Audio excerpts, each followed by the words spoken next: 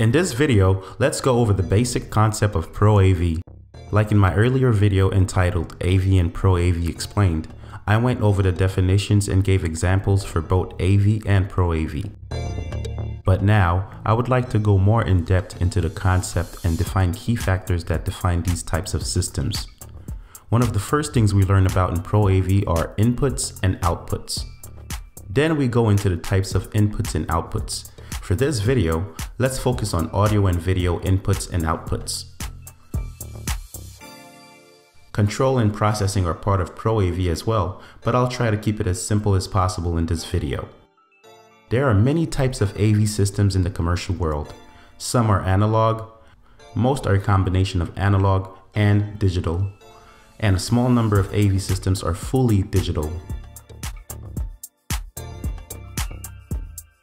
I would like to point out that some of these digital systems are able to receive an analog input signal, translate it into digital packets, and reconvert it into the original analog message,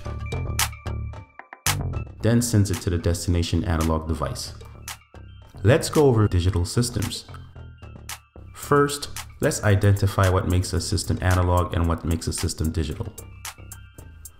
An analog system is a system in which an electrical value such as voltage or current represents something in the physical world. A digital system is designating or of data, images, sounds, etc. that are stored, transmitted, manipulated, or reproduced by a process using groups of electronic bits represented as 1 or 0. Let's identify the three main components in a simple AV system. The source device is where the main audio or video signal is leaving the device and entering the AV system. The processor and router processes the source signal and routes the processed signal to the designated destination. And the output device is where the routed signal is heard, viewed, and experienced. Let's describe three key points of an audio system. As source devices, we have a mic, an audio receiver, and a codec, which are usually used for voice calls in conference rooms. As the processor and router, we have a DSP.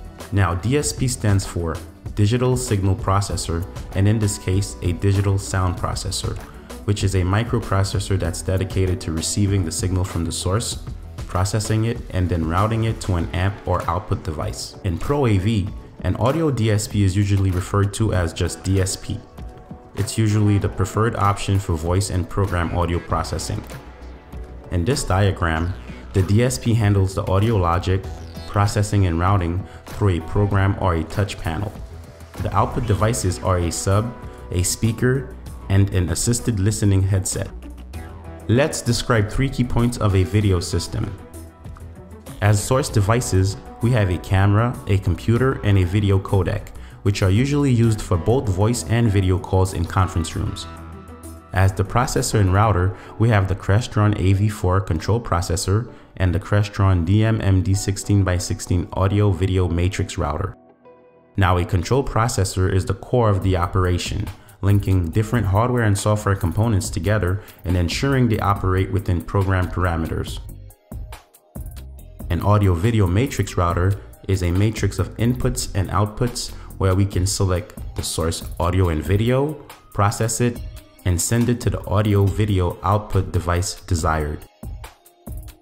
Smaller control processors and routers are combined as one, where larger units such as those used in divisible multiple purpose rooms requiring many more inputs and outputs have the processor independent of the router.